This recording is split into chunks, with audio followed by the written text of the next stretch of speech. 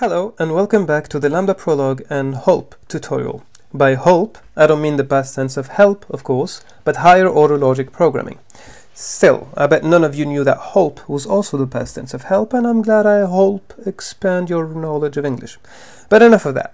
Today we'll finally talk about lists, and although they are nothing more than a set of objects put in a certain order, which is simple enough, you can do a lot with them. So first things first, how do we represent lists? How do we write them?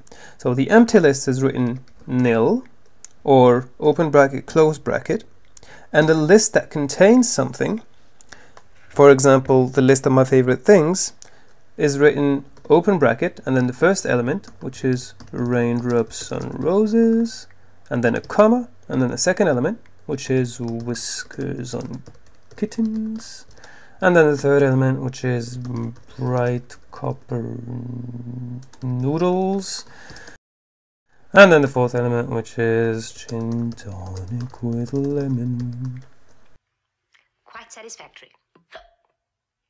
so anyway this is a list and as you can say by the double quotes it's a list of strings. Or should I say a list of my favorite strings. So that was the exhaustive way to write a list but more often you want to do things to a list. You want to either examine it or construct it. So how do we examine a list? Well, at any one moment, if you have a non-empty list, you have access to two things. Its head and its tail. Those are the two things that you have right away. So the head of the list is the first element of the list. So here, for example, it's this, uh, raindrops from roses and the tail of a list is the list itself minus that first element. So it's the list of these three elements. So that's how you examine the list or you deconstruct it. Uh, but how is a list constructed? Well, you do the exact opposite, meaning if you have one integer in a variable, call it i, notice the capital letter, and another variable that has a list of integers, call it list int, you can construct the list that has at its head element that integer i and at its tail uh, position the list list int. Uh, and the way you write that is open bracket and then the head element and then a pipe and then list int and then you close the bracket. Simple enough. There are other ways to write a list, but I'm not going to mention them for now to uh, avoid confusion. Uh, now that we know how to write lists, let's see how we can use them. The first example we'll see uh, of operations on list is membership. So imagine, for example, there's someone at the door and uh, I want to check if his name is on the guest list or not. So how does it work? Well, the first, let's first declare the type of membership. So I want a predicate that will be true for or will link in a relation.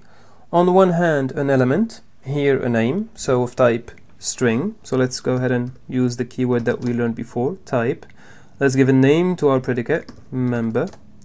And the first uh, parameter will be an element, here of type string.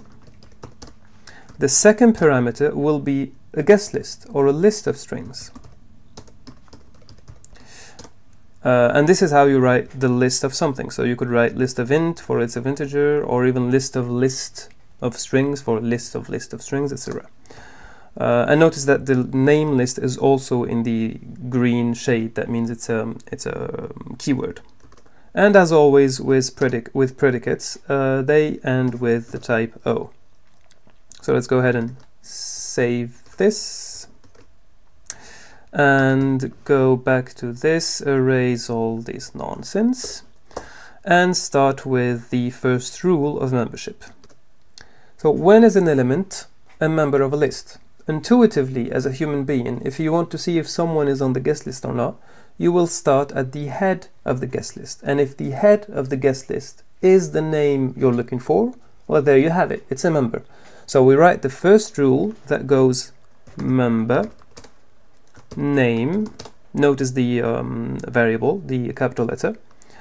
So this says that name is member of any list on which head position it is. I don't know if the the phrase is grammat- grammatically correct, but you, you understand what I mean.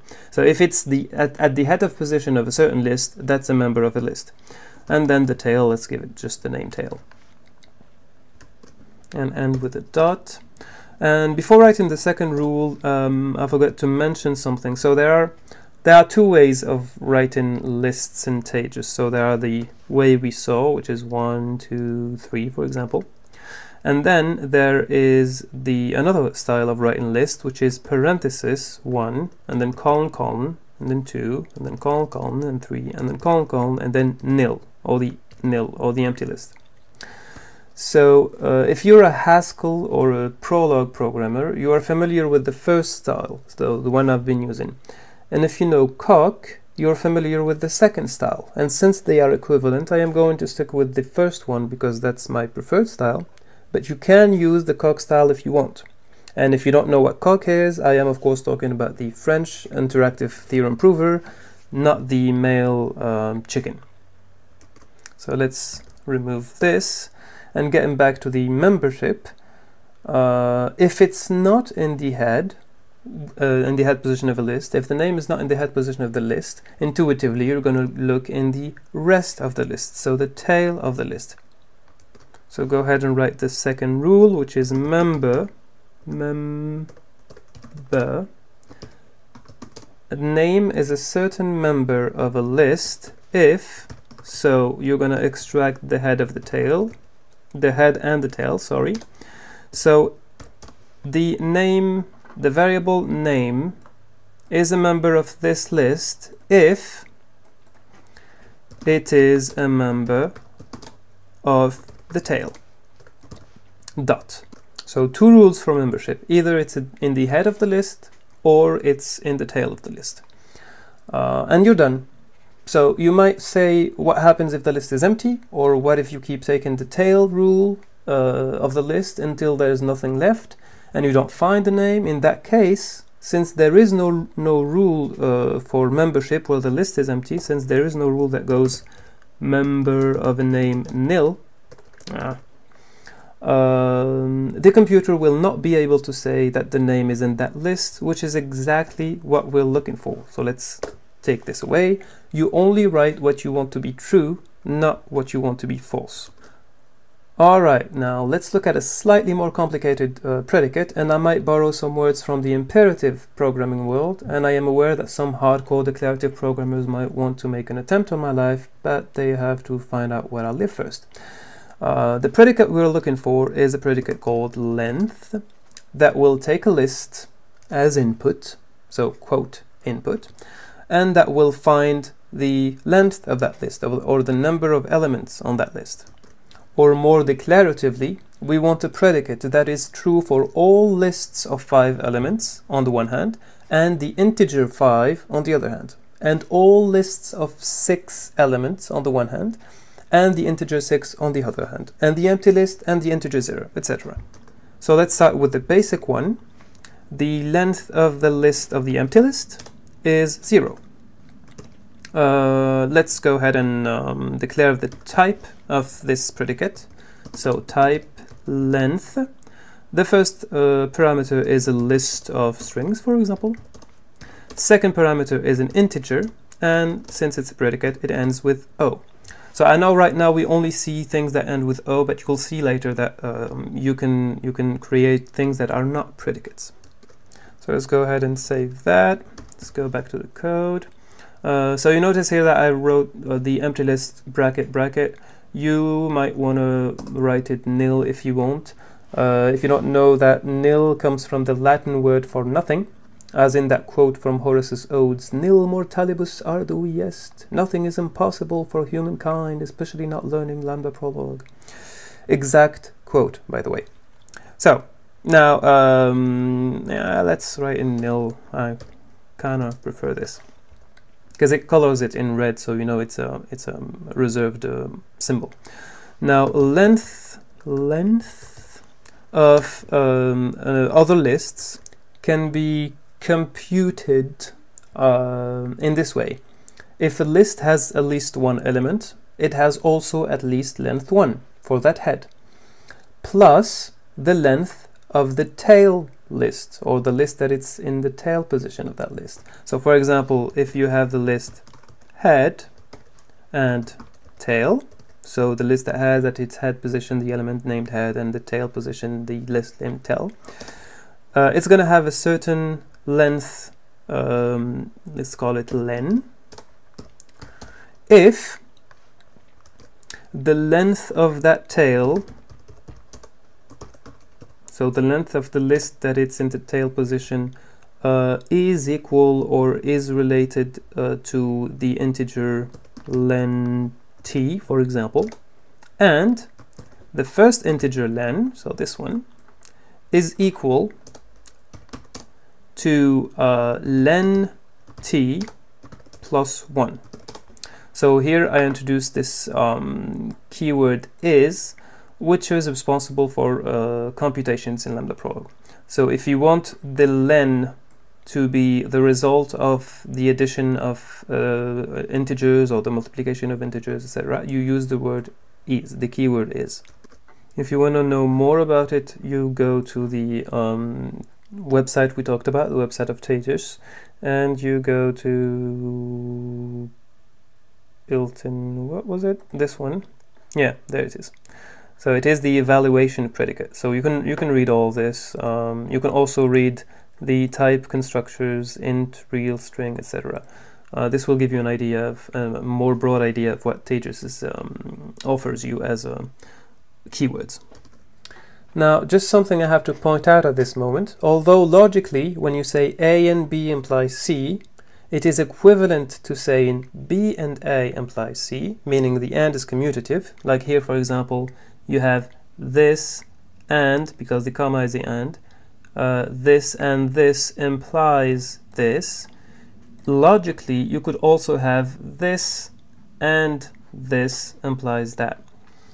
Um, but since we are in logic programming, there is the word programming, and that means the order between A and B can be important. Although we are talking about relations, there is at least some vague notion of input and output and of order. So as a general rule of thumb, before using a variable in a call to a predicate, always ask yourself, is this variable supposed to be provided by the predicate as, quote, an output, or is it supposed to be, quote, an input to the predicate and used by the predicate? In which case, the variable has to come from somewhere else. For example, here the predicate is, and we just saw that this, this is the predicate of evaluation, is going to use the value len t or the variable len t. So the variable len t cannot uh, or has to come from somewhere else, meaning here. So you first call this predicate on the tail that is giving, the tail is an input, and you receive as an output uh, an integer, and then you use that integer as an input to another predicate, but not the other way around. Let's see a very rapid um, example of um, of what this code is going to do. So for example, suppose you call it with length and the list 2 and 3, and then give me the output. What it's going to do is try to uh, execute or use this rule and then it's going to see that nil is not this list or this list is not the empty list. So it's going to go to the second rule and it's going to separate this list into a head and a tail. So it's going to take 2 and 3 and it's going to separate it as the head 2 and then the list that contains only 3 and then it's going to call on length again with the list 3 uh, and another integer that it's going to find. And when it's go, it, when and when the the call to length with the only list, the singleton list three, is going to be called, um, it's going to notice that three is not, or the list that contains three is not the empty list. So it's going to go here again, and it's going to separate this list between the head element three and the empty list. So pipe nil uh, and the call to length nil is finally going to give 0.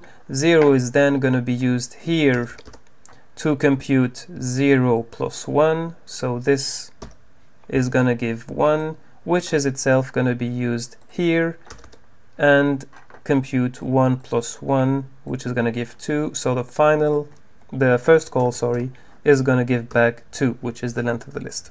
So let's go ahead and test our program, remove all this, otherwise it won't compile. Let's see, we've put all the dots.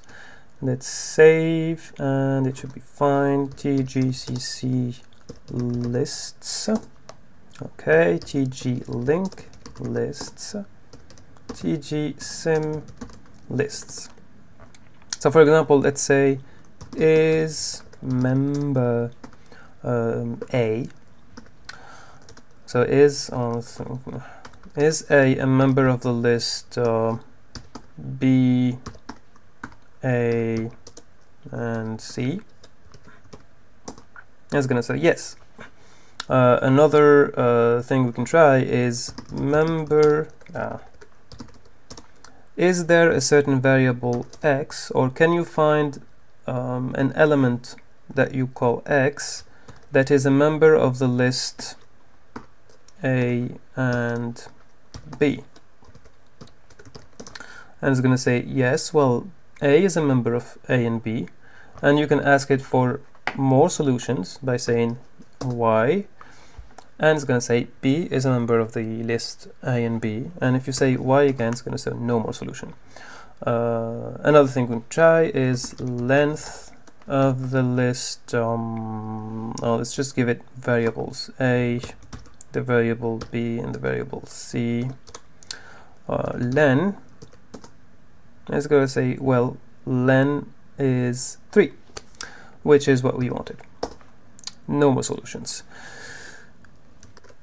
So there you go, that was the fourth video that introduced the lists of the uh, Lambda Prolog. Uh, my name is Zak Chihani and this was the introduction to this video of the tutorial of higher order logic programming and Lambda Prolog. And if you don't realize it yet, you just wrote little recursive programs right there. But we'll see more about that. Thanks for watching.